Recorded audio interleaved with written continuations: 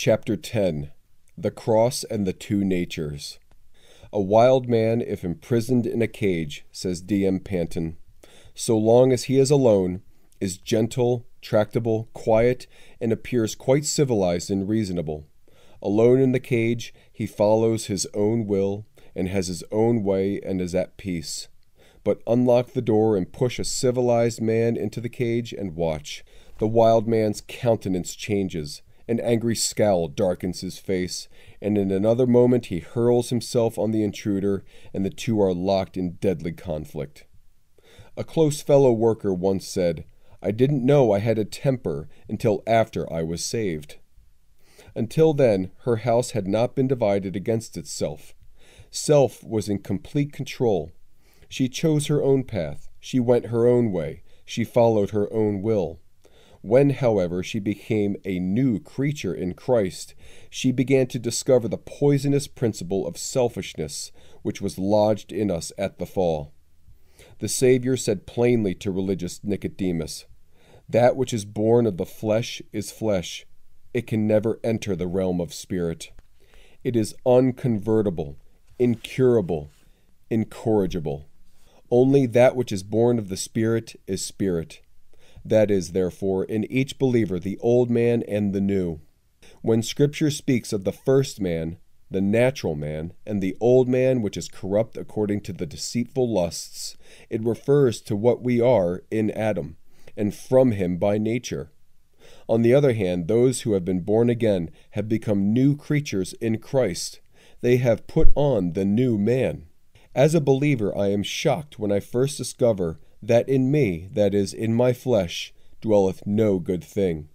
The mind of the flesh is death. It is not subject to the law of God, neither indeed can be. It is unmitigated antagonism against the things of the Spirit. It is not merely an enemy, in which case it might be reconciled, but it is enmity against God.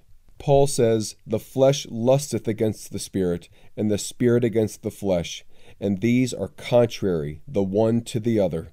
But the most startling and distressing shock to me personally is to find that I am both. I am carnal, sold under sin, and I delight in the law of God after the inward man. Most every sincere Christian will therefore at some time or another cry out, consciously or unconsciously, O wretched man that I am! Who shall deliver me from the body of this death? This war, according to Scripture and experience, is of all wars the very worst a civil war. And it is wrong to suppose that this relentless and undying antagonism can settle down to a deadlock, a kind of stalemate, where neither side wins. We also fear that many Christians, having adopted what might be termed a defeatist position, attempt to make the old man responsible for their daily misdeeds. They have doubtless been encouraged in this extreme on account of certain teachers who give the impression that the regenerate man is made up of two persons, two individuals, the old man and the new man, constituting two separate and independent beings, an angel and a devil linked together, the old man unchangeably evil, the new perfect and impeccable. On the contrary, I am a single individual. As such, I am responsible to put off the old and to put on the new.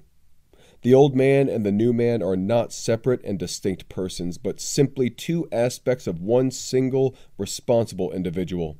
In an earlier chapter, we dwelt upon the fact that Emperor William once refused request for an audience prepared by a German American.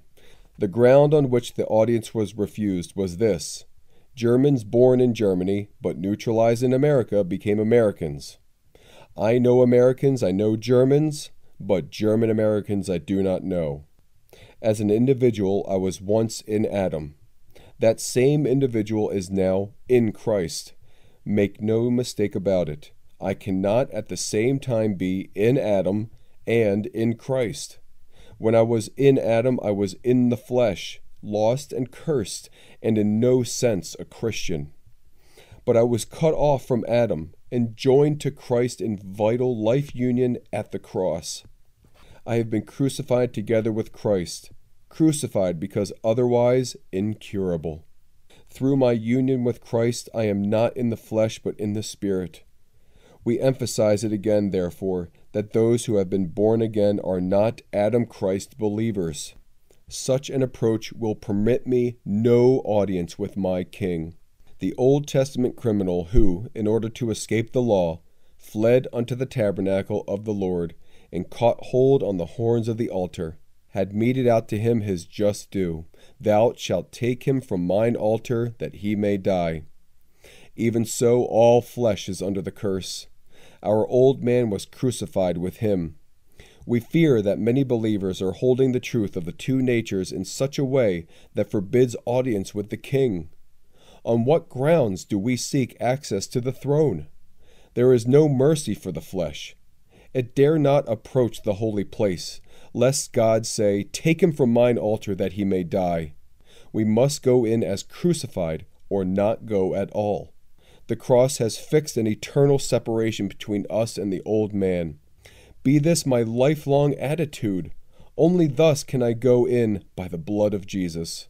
But to illustrate, it has often been true of a Jewish or Hindu convert to Christianity that the relatives, in order to express how completely they cast him out, actually celebrate his funeral. Henceforth, they treat him after this contemptible display of death as though he no longer exists. We once heard a Jewish Christian thus describe his own burial. Just after that funeral had been celebrated, the father made as though he would kiss the son goodbye. But the mother stepped between the two and said to the father, Would you kiss that dead dog? When Christ came into my humanity, he fastened me to himself and took me to the cursed tree and down into the tomb, that he might once for all terminate my relationship to my old man. Having been buried, I am married to another, even to him who is raised from the dead. Has it ever dawned upon me what an ethical and moral contradiction I am to the bridegroom of my soul when I step back to kiss that dead dog? Let me then solemnly sign my death sentence and forever celebrate the funeral. Not long ago, we were preaching along this line when a perfect dandy commented after the message. I don't know what he was talking about. I am not as bad as all that. A friend said, Do you mean that you are never bothered with envy or vanity or pride? Such things were all too manifest. Oh, yes, of course, he replied. Well, what do you do about those things? Glibly he replied, Oh, the blood takes care of all that. To this poor, self sufficient young Christian, sin has not yet become exceeding sinful. In the meantime, the Lord Jesus is indeed a convenient fire escape out of hell, and his blood a handy rinse, absolving this superficial Christian of all responsibility. Note again the close connection between the justification of Romans 5 and the sanctification of Romans 6, the one laying the basis for and leading immediately into the other. Concerning the former, Paul says, Where sin abounded, grace did abound more exceedingly. Concerning the latter, he asks, What shall we say then? Shall we continue in sin, that grace may abound? God forbid. We who died to sin, how shall we any longer live therein? The apostle then proceeds to explain that when we were justified in Christ, we were so united with him, baptized into his death, that our whole former connection with Adam and with sin was forever terminated. In his death, Christ placed between my old man and the new the immeasurable depths of Calvary's annihilations. In view of my life union with Christ crucified, I am vitally involved in that death. It is my judicial standing. From it issues the life I live, a life of death unto sin and oneness with God. This is my position the moment I become a Christian. While there is no scriptural reason why the justified believer should not, immediately upon conversion, reckon himself dead indeed unto sin, but alive unto God through Jesus Christ our Lord. The fact remains that most of us wander, as did the Apostle Paul, in the wilderness of a divided affection, until we learn that in me, that is, in my flesh, dwelleth no good thing. But once we cry out in utter hopelessness and despair, O wretched man that I am, who shall deliver me from the body of this death? Then we enter into the blessed land of fruitful obedience and conflict. Ah, yes, the conflict remains in Romans 8, but oh, how different! In Romans 7, Paul experienced a conflict which issued in the most tragic defeat. That chapter is full of I and me. In Romans 8, the conflict continues, but with Paul on the winning side. The Spirit of life in Christ Jesus has made him free. But note that Paul stands in Romans 8 at the fork of two roads. To the left is the path after the flesh, to the right after the Spirit. Those two paths continually face the most victorious Christian. It is ours to choose. In Romans 8, the believer has liberty to choose to walk after the Spirit, but it is not liberty that is automatic we must still choose. Thank God we are debtors not to the flesh, to live after the flesh. That is glorious encouragement. The old debtorship has been canceled. Then Paul couples warning with encouragement in Romans 8:13, "For if ye live after the flesh, ye shall die."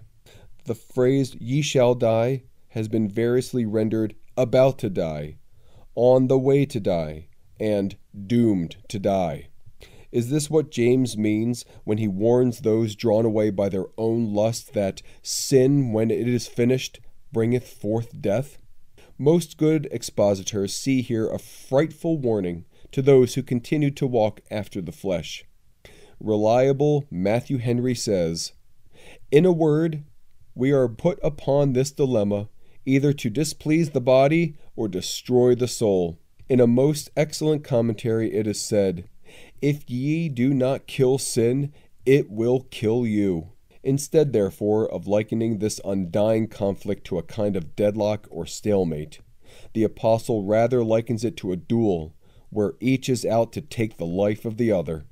After the children of Israel had gone through Jordan's floods, a figure of our death and resurrection with Christ, and had entered into the land of fruit and fight, they were indeed put upon the dilemma. If ye do not kill the Canaanites, they will kill you. In this analogy is set forth the warfare between the flesh and the spirit. While not ignoring the dark side of these warnings, we would rather thank God for the bright alternative that, if ye through the Spirit do mortify, that is, make to die or put to death the deeds of the body, the cursed Canaanite flesh, ye shall live.